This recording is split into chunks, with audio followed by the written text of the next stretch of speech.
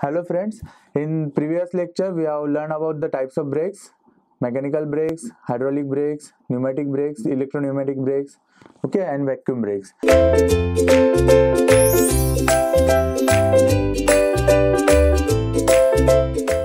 Now we will learn about the braking of the vehicles.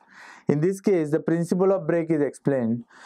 When moving vehicle possesses the kinetic energy that is converted into the heat energy on the application of the brakes.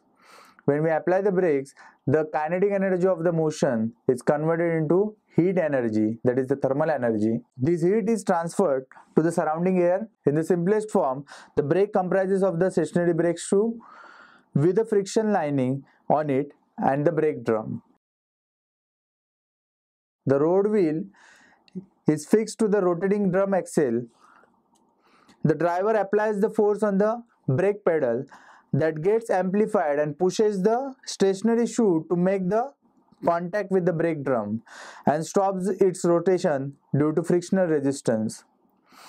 The heat generated due to braking motion is proportional to the force that brings the shoe in contact with the drum.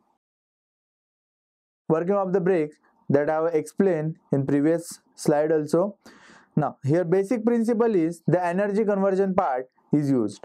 The brakes are essentially mechanism to change the energy type from the kinetic energy of the wheels to the thermal energy. Thank you for watching this video. Stay tuned with Ekeeda and subscribe to Ekeeda.